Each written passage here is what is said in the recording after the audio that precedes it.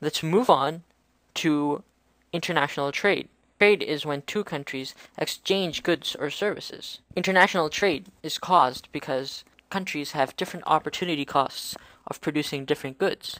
Now, the question comes in what goods should a country export and what goods should a country import? Well, the answer is simple.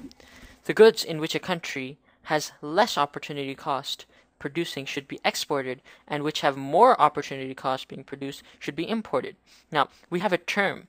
Well, comparative advantage is when a country produces a good at less opportunity cost than other countries. Absolute advantage, which is irrelevant to trade, is when a country can produce more of a good than other countries. Absolute advantage does not have any relevance to trade because it is not relevant to opportunity cost. What a country wants is the most it can attain of uh, of a production possibilities curve. Now, production possibilities curve uses opportunity cost. So we have to minimize the production of those goods that have more opportunity cost and maximize the production of those goods that have less opportunity cost. When we trade them, we can actually expand our PPF, which I will show you right now. Now, here we have two countries, country A and country B, which produce good A and good B. Country A can either produce 10 units of good A or 20 units of good B and country B can either produce 15 units of good A or 5 units of good B.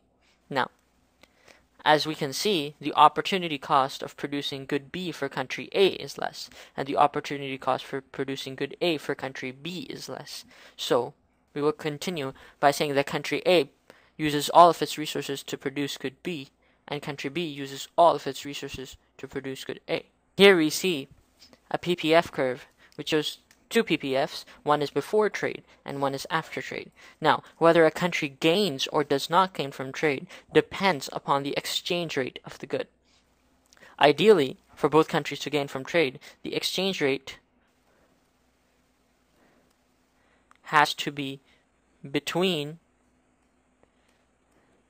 the opportunity cost of good A for country A and the op cost of good A for country B.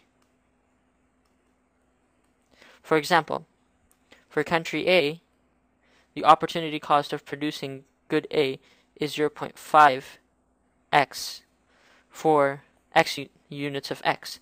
For country B, it is 1.5 units of x. Now the exchange rate for A should be between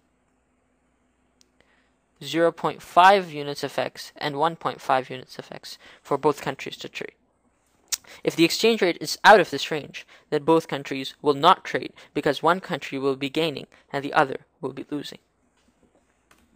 Now, in an exam, when you're asked to draw a PPF before and after trade, all you have to do is look for the good which has the least opportunity cost. Multiply that good with the exchange rate of the good.